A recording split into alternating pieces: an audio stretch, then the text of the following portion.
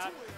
So if I just kind of give you that sign, that means just pull the flag. We could use some scoring up on the on the screens there in a minute.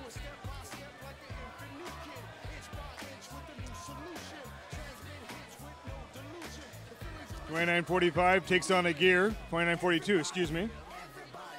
For blue, Panda ER heading back over to their airship. Let's see if they can successfully deliver that gear. 5683 coming in for red. Team Rave got a successful gear on board. Working on that second rotor. And 5683 releasing the fuel onto the field. 4131 approaching the airship with a gear.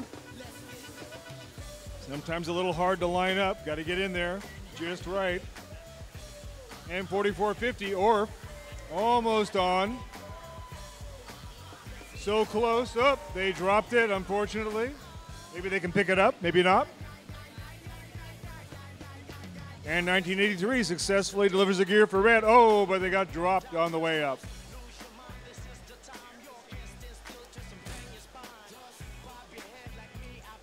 Both teams head back to get another gear. Blue Alliance now has two of its rotors moving.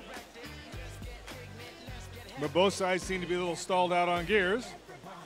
Red Alliance needs one more gear on there to get their second rotor moving. And they dropped it, but it's back on board 1983. 30 seconds now, so teams need to get those ropes down. Each robot up on a rope counts 50 points for that alliance.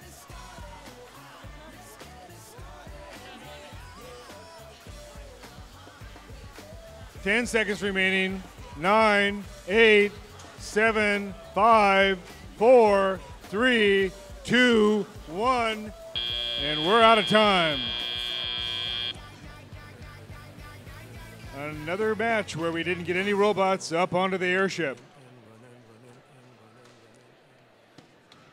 No points are awarded for a partial climb. Robots have to get up and where they activate the light up there in order to count for that 50 points. With that, we're ready for the final score on this match. And, we need to get rid of, there we go, got the other screen off. And the final score is 100 to 90. Congratulations go to the Blue Alliance, to the Red Alliance.